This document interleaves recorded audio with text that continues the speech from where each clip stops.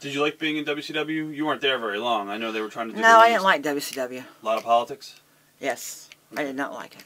I didn't like one person. I can't remember his name, but I didn't like this one person. That and they brought me from um, uh, Florida. They asked me to come out to to work. I think Molly Holly. It was in Denver. Uh, I got there and I was I was sitting with uh, one of the girls, um, uh, Monster Ripper, or I forgot what she went as then. Um, she's no longer here. Monster Ripper. I don't know what they called her then. Um, anyway, we were sitting together, and there was maybe a few people in there. I think Bret Hart was in there, and in this room, and I was sitting there, was talking, and I think I was supposed to work with Molly Holly. I believe that's who it was. Yeah, Molly Holly. And um, we were sitting there just cutting the full, and, and all, and I was in a really good mood, and all of a sudden these two gentlemen come in, and uh, uh, everybody got kind of quiet. So they come over to me. One of them said to me, he says, "Oh, by the way, um, you're not gonna."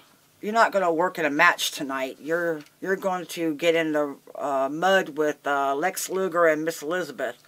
This would be Vince Russo who probably said this. Russo, yeah, Vince Russo. Oh, Vince Russo. That's who it was. Yeah. Ugh, I can't stand him. Uh, he came up to me and told me that. And I stood up and I looked around like this. And I remember Bret Hart was looking like this at me. I looked around like this. I said, Are you out of your fucking mind? Do you think I'm going to go out there and waller around in the mud? I said, Who are you? Fuck you. Fuck you, Vince Russo. and I, who do you think you are? And um, he was going, whoa, whoa, whoa. So this one guy jumped up and he says, uh, you know, I said, fuck you too.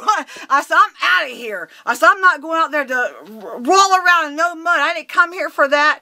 You know, I said, I said, who do you think you are anyway? I said, you know nothing about this business, even less about wrestling. And maybe I said it the other way around. But I said, fuck you. And I say, fuck you to you now. You ruined everything for everybody in WCW. You ruined everything. Your stinking cartoons, everything. You ruined it for everybody. Everybody wanted to get into it. Any kind of, uh, any, any talent that wanted to try to get into it. You just ruined it for everybody. I can't stand you, you stinking son of a bitch. How do you really feel? That's how I feel. But anyway, wow, he, he- he lit a fire under you more than Moolah. that is the first time, first time I've ever gone off on anyone. But I didn't care who came up. One guy came up to me and says, "Oh, you, you that's Vince Russo. That's Vince Russo." And Bret's going like this to me. You know, Bret loved it. I, I know. I remember Bret going. He loved it. I remember that. It was a long time ago, but. But anyway, I just I just blew up, and I felt kind of bad afterwards. But I felt bad because I cussed, you know. But I'm just saying like it was. It's, that's how it was. I'm not gonna hold nothing back on that. But I was really, really mad. And I said, I'll take my shit and I'll get out of here. I didn't ask to come here. I could care less about this company. I just come here to get one of your talents over. So anyway, uh, he's going, whoa, whoa, whoa, you know, and this one guy goes, please go up there and, you know, and say you're sorry to him and say you're sorry, you know, he's, he's Vince Russo.